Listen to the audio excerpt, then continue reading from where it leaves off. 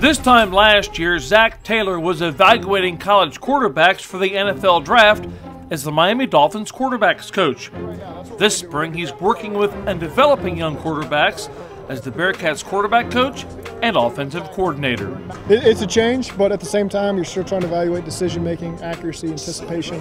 All the same qualities apply for every level of quarterback. So this level is no different.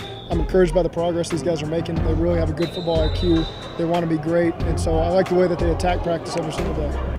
Midway through last year's NFL season, Coach Taylor was promoted to offensive coordinator with the Dolphins, the same role he now has with UC. And the players are excited about his new system it's like it's very base because it's kind of of a NFL style offense, you know, fast tempo, just the, the way the ball's coming out faster, and it's just the routes, the different combinations, everything's just great.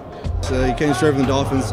Um, all our film is coming from watching the Dolphins. Like as we as we learn this offense, we're watching the Dolphins play, and uh, that's really really nice to see see them do it, and it's easier for us to uh, see what we need to do when we're watching an NFL team do it. I mean, I'm really excited about this new offense and the coaching staff. I mean, they they feature the running back in this offense. You know, as a running back, you know that that always make you happy.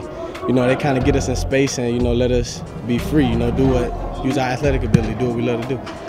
The Bearcats have had a reputation for a long time as an explosive, high-scoring offense.